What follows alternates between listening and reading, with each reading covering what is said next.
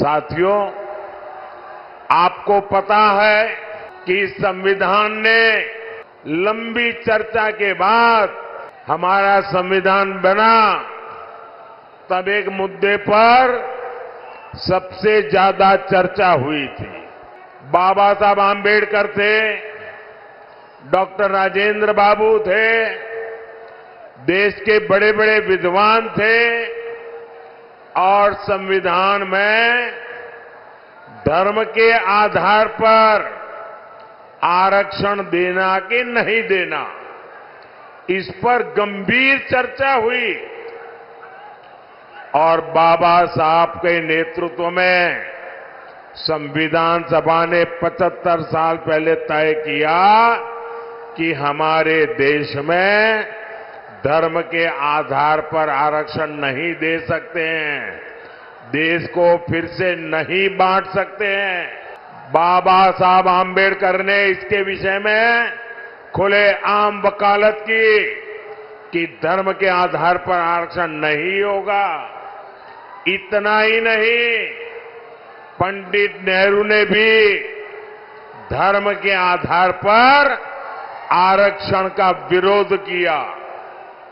लेकिन अब जब हमारे गरीब एससी, एसटी, ओबीसी का कांग्रेस से मोह भंग हो गया है तो कांग्रेस नेहरू जी की भावना के खिलाफ जा रही है। बाबा साहब आम्बेडकर के पीठ में चुरा भोंक रही है। संविधान को तोड़ने, मरोड़ने में लगी है। कांग्रेस लगी हुई है कि ओबीसी कोटे को कम करके धर्म के आधार पर उसमें से डाका डाल के मुसलमानों को आरक्षण दे दिया जाए।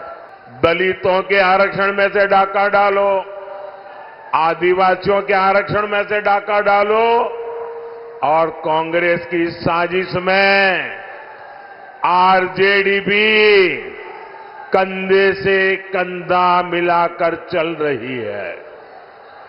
2007 में बिहार के शहजादे के पिताजी ने मुस्लिमों को ये आरक्षण में से निकाल करके कोटा देने की बात कही थी।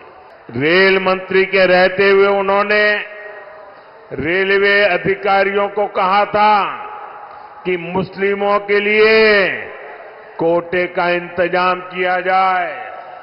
सोचिए ये एससी, एसटी, ओबीसी का आरक्षण छीनकर को मुस्लिमों को देना चाहते हैं।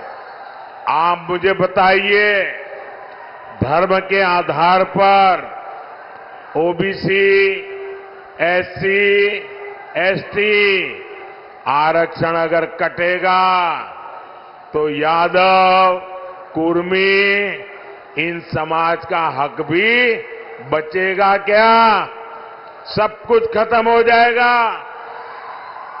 पासवान मुसहर रविदास दानुक समाज के हक पर ये डाका डालने में उसकी फिराक में है।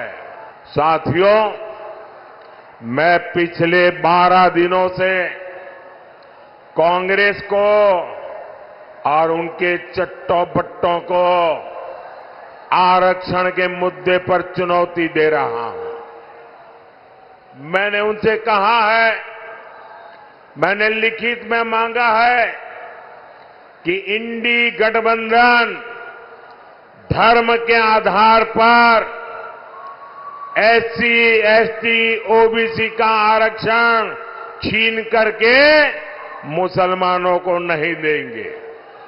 धर्म के आधार पर आरक्षण के लिए संविधान के साथ खिलवाड़ नहीं करेंगे।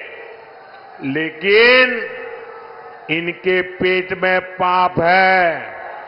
बारह दिन से मैं मांग कर रहा हूँ, ये चुप बैठे हैं।